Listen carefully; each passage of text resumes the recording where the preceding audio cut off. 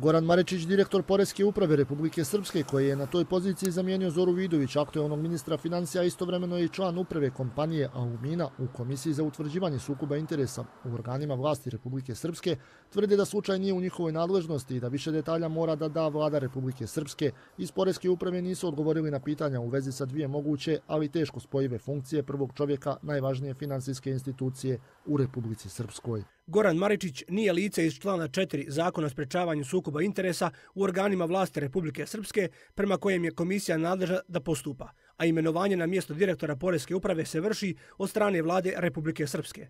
Shodno navedenom, možete se obratiti vladi Republike Srpske. Piše u odgovoru Obrenke Slijepčević, prvog čovjeka komisije za utvrđivanje sukoba interesa.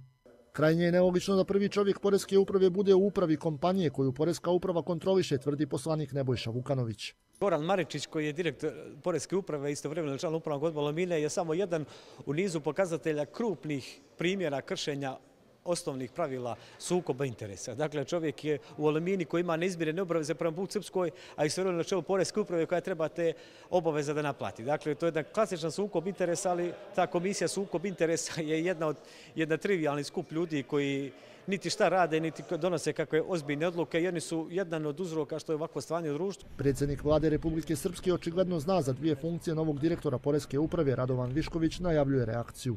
Neće, neće biti dugo to ćemo pitanje riješiti. Goran Maričić je na čelo Poreske uprave došao krajem prošle godine, a na toj poziciji zamijenio je dotadašnjeg direktora Zoru Vidović, koja je sada ministar financija u vladi Republike Srpske.